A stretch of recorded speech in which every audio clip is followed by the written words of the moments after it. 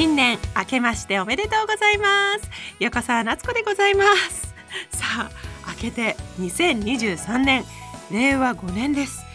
新年になって18時間と40分しか経っていません。皆さんいかがお過ごしでしょうか？ちょっと正直言いましてねこんなことは本当言いたくないんですが今実はまだ11月18日でして。はは言っちゃった。でもあのなんか未来へのお手紙みたいな感じで。すごい今不思議な状態。そうかもう1月1日新しい年になりましたもんね。いや何してるかな。未来の私そのね2023年の私はですねお餅5つ6つぐらいは1食で食べてるでしょうね。もう私お雑煮が大好きすぎてそしてうちの祖母が打ってくれるお餅が一番大好きなんですよ。そのカチカチじゃなくなんかもうドロッとしたちょっと溶けかかったお餅が大好きでねそれにセリをいっぱい入れて食べるんですけどそれを爆食いして食べてはああ食べ過ぎたって言ってまた食べてはああ食べ過ぎたっていう繰り返しな食べ正月をやっている気がします。さあこの番組は今年も自分にとって社会にとって地球にとって大事なことについてお話をしていくというコンセプトでお送りしていきます。番組後半は SDGs について聞いていきます。ゲストは年をまたいで三井不動産日本橋まちづくり推進部の友岡亜美さんです。というわけで横澤夏子それ大事なことでございます。年の初めの放送です。最後までお付き合いください。FM93 AM1242 日本放送からお送りしている横澤夏子それ大事なことでございます。さあ年の初めということでさあ私ねそのやっぱお正月どういう風に今まで過ごしてたかなって思うんですがやはりですねお正月はもう親戚の挨拶回りですね。基本的には新潟でもうでもね新潟だったんで本当にねまず家を出るまでが大変なんですよ。この雪掘りをしてまずちゃんと車を出せるところまで雪掘りをしてからもういろんなねお家に向かってまあ子供のね私からするとそのお年玉もらいに行くみたいな感じなんですけどお年賀を渡したりとかいろいろしてで大きくなったねとか毎年同じ話をして それでまあおばあちゃんちとかね本家について本家でおせちを食べてみたいな。でもその本家がですね本当にうちの父方の、えーと、実家になるんですけどまあ雪もうスキー場の奥にあるんですよで本当にこれ何の足跡タヌキじゃないキツネじゃないっていうぐらいのなんかもう動物がね冬眠してた動物がちょっと出てくるぐらいの足跡もしっかりわかるぐらいもう雪山なんですよ。ですだからそこの雪のお家に入る時はそれこそ2階までしっかり雪が積もってたりするんでそれを溶かすためにずっと水が出てるんですね。でその山の水を引いてこのずっと水を出して屋根に登って雪を下ろしてとか1月1日はそういうことはしないけどいやでもね1日も1回はやらないとほんと積もっちゃうぐらい本当に雪が積もるんですよね。だからそういうもう本当に寒いのが当たり前みたいなお正月の中で、えー、お汁粉と甘酒とあとはお雑煮もうその3点セットとあとおせちかをどんどん食べてるっていう感じでいやでも結婚してからじゃないわ上京してからまた変わるんですよね。上京してからこの芸人になってお正月ってもろ劇場でずっと過ごすので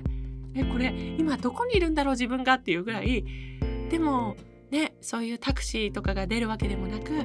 あの渋谷駅に着いて急いで走って劇場まで行く。そして 渋谷駅の渋谷のね無限大ホールっていう吉本の劇場があるんですけどそこからまた走って新宿のルミネ座吉本に向かうその間もずっと走るっていう そのなんかあの間に合うだろっていうそのスケジュールをね頂いてそういうもうえ師走って12月じゃなかったっけっていうぐらい1月はすごい年末年始はなんか芸人になってから走るんですけど社長からカステラですとかなんかすごい潤ってるんですよ劇場も。で各劇場すっごいなんか沼津の劇場だったらお寿司とか置いてあったり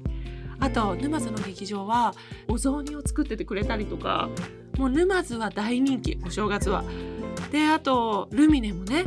フライドチキンとかピザとかえどうしたの？みたいな。なんかそれをなんか食べ歩きに行くみたいななんかビュッフェ感覚で 劇場になんかいろいろ走って回っていろいろネタしてみたいな。感じで回ってて。でまた結婚して子供が生まれてからは一切結局子供のね保育園もお休みなのでなんか子供の保育園がお休みと同時に私も仕事をお休みにしなくちゃなっていうのでお休みにしてもらってるっていうありがたい感じではあるんですが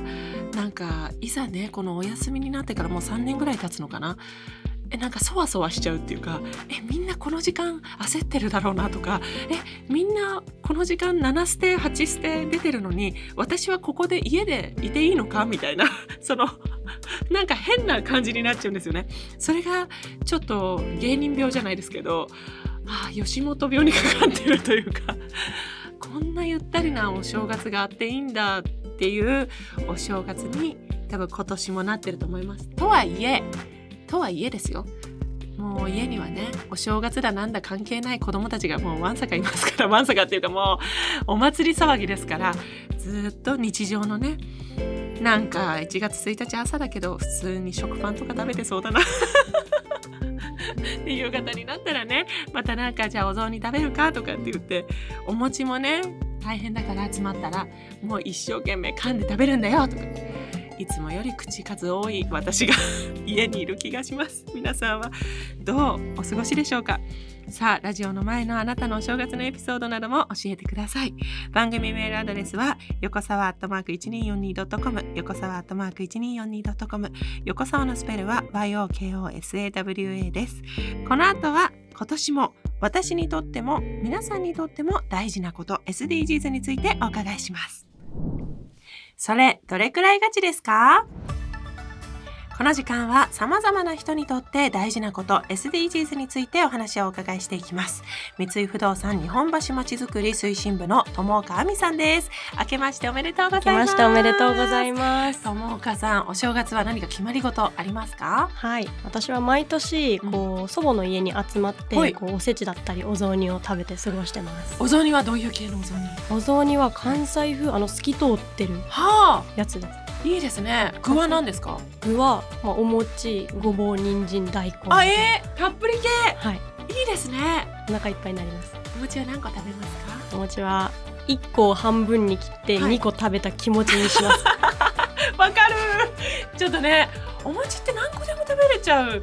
感じがしますもんねセーブするために半分にします自分は2個食べたんだぞって言い聞かせるけど本当は1個っていう、はい、ちょっとそこまでしなくセーブできないのっていうぐらいねわかりますよその気持ち。さあ今年もねいろいろとお話を聞かせていただきたいと思います。友香さんは日本橋再生計画に携わっていらっしゃるわけですが今日は SDGs のどの目標についてでしょうか？はい。今日は、えっと、主に目標8の働きがいも経済成長もについてのお話です。はい、世界には働きたいと思っているのに仕事がない方がおよそ2億1000万人いると言われています。そんなにいらっしゃるんですか？はい。の目標8では2030年までに若い人たちや障害がある方たち男性も女性も働きがいのある人間らしい仕事をできるようにするというふうな掲げています。はい、で日本橋に分身ロボットカフェのドーンバージョンベータというお店を出店していただいてるんですがそこではこう外出が困難な方がこう働けるこう機会の創出に携わっています。働くことも含めてこう街に訪れたすべての方にとってこう快適に過ごせる場所にするべくこうインクルーシブナビみたいなものも導入しています。インクルーシブナビ、はい、なななんですか？それはどういう意味でしょうか？はいとまずそもそもインクルーシブっていうふうなところからご説明をすると、はい、インクルーシブっていうのはこう包括的なであったりこう全てを包み込むっていうふうな意味を持っています。でインクルーシブな社会っていうもの自体がこう社会を構成するこういろんな要素多要素においてこうお互いを認め合ってこう排除せずに一緒に行きましょうっていうふうな社会を指しています。であのバリアフリーっていうよく聞く言葉がこう高齢者や障害を持つ方が不自由なく暮らせる生活というふうな定義をすればインクルーシブというものはバリアフリーの社会を超えてこうお互いを認め合う社会っていうところを目指すべきっていうところをさらに発展させた形っていう。すごい。理想的な社会ですよね、はい、その具体的には友岡さんたちはどのようなことに取り組まれてるんですか？はい。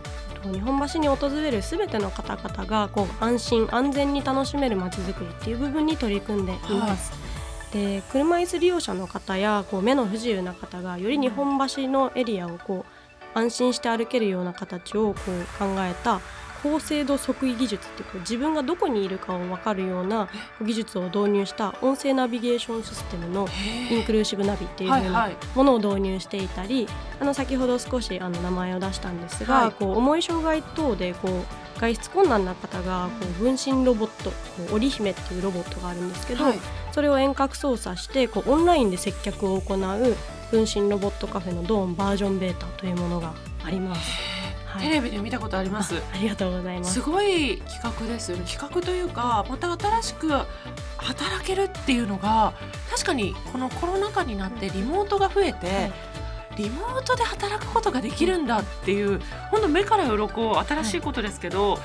い、でもすごく働きやすさだったり寄り添ってくれるので嬉しいですよね。そうですね。日本橋にいらっしゃる方もそうでない方もこうまあ働ける機会であったりとか、まあ、単純に街を楽しんでもらうみたいなところの取り組みをずっと続けています。なんかそのテレビで見たのがそのねあの店員さんが、はい。言ったら東京の人じゃなかったり、ね、北海道だったり沖縄だったり今日の天気は雨ですよとか、はい、えー、そうなんですかっていうお話もできるっていうのはすごい楽しいですよね。そうですね他にはどんなことをされているんですか？はい。ちょっとこう話の毛色は変わるんですけど、イベント関係でこう夏にこう風鈴とか浴衣でこの江戸の暮らしでこう涼しさを感じるみたいなエコ江戸日本橋っていうエコをテーマにしたイベントであったり、その江戸日本橋の暮らしがそのシェアの文化だったりとかリサイクル文化みたいなものがすごく根付いていてそれを実際にこう発信していく日本橋ぐるりっていう SDGs の総合イベントなどを行ったりしていてこう街としてこう昔ながらの暮らしをこう現代に落とし込みながら実際に日本橋のワーカーさんだったりとか、こう来会者の方にこう手軽に SDGs に取り組めるんだよっていうのをこう三井不動産として発信してます。えー、その昔からそういうことをやっていた街だったんですね日本橋って。すごいエコな街だったんですね。なんかこう古着をこうシェアしたりとか、こう傘壊れた傘をもう一回修理してちゃんと使うとか。うん、すごい。でもそういう専門のお店が結構たくさんあったっていうのもそうですそうです。昔ながらの街を壊さない風景ですね、はい、そして多くの人が働きがいを感じながら同時にその働きで経済成長も達成するんですね、その2つの目標を同時に進めていくのはご苦労があると思いますが本当に大事なことですよねそれじゃあ2023年最初のあの質問よろしいですか？はい。友岡さんそれってどれくらいガチですか？はい。新年の初日の出の大きさくらいガチです。いつから考えてたんですか？本当毎回これいろいろとね。また年末ぐらいから考えてくださって、はい、たくさんありがとうございますそのガチさ、はい、ちょっと私も日本橋を歩いて感じたいと思います、はい、また季節でねいろいろ日本橋も変わっていきますもんね、夏には風鈴のイベントがあった。私行きましたそういえば。ありがとうございます。すごい涼やかでした。あんなに暑かったのにここだけ涼やかみたいなね。いや素晴らしい企画をありがとうございます。貴重なお話をありがとうございました。三井不動産日本橋まちづくり推進部の友岡亜美さんでした。年をまたいで4回にわたってのご出演ありがとうございました。ありがとうございました横澤夏子それ大事なことでございます。そろそろエンディングです。いや江戸の方々が昔からエコだった。SDGs に特化していたってちょっと新しい知識でした。知らなかったな。私のね今年の目標ずっとね何にしようかなって思ってたんですが決まりました。もうちゃんと SDGs 胸を張ってエコな人間になるっていう。やっぱりエコバッグ持ってたりいろいろしましたけどやっぱりゴミはたくさん出るなと思ったりこのねいろいろコンビニで買ってお箸いりませんとかそういうことはでも当たり前にできるようにはなってたけどもっともっと見つめ直せばいらないものとかなんかわざわざ買ってるものとかもいやこれ家にあるものでいいじゃんとかいけたことがあるんだろうなっていうのでちょっと私はエコな人間になるためにちょっと生活を見つめ直そうと。思っております。これはね1月1日に私は発表しましたがもう明日忘れるなんてことはないように 気をつけてちょっとエコなね1年をね過ごしていきたいなと思っております。この番組ではお聞きの皆様からのメッセージをお待ちしております。あなたが大事にしていることちょっとしたこだわり子供あるあるなどどんなことでも構いません。また番組の感想やメッセージなどもお待ちしております。番組メールアドレスは横沢アットマーク 1242.com 横沢アットマーク 1242.com 横沢のスペルは YOKOSAWA です。またこの番組はラジオだけでなくラジコでも聞くことができます。タイムフリー機能を使えば1週間遡って聞くことができますので今夜のトークが気になった方はぜひそちらもご活用ください。番組ホームページからは収録の模様を動画で楽しむこともできます。気になる方はぜひ日本放送のホームページにある番組表からこの番組のホームページをチェックしてみてください。さあそれではこの辺でお別れです。今年もどうぞよろしくお願いいたします。お相手は横澤夏子でした。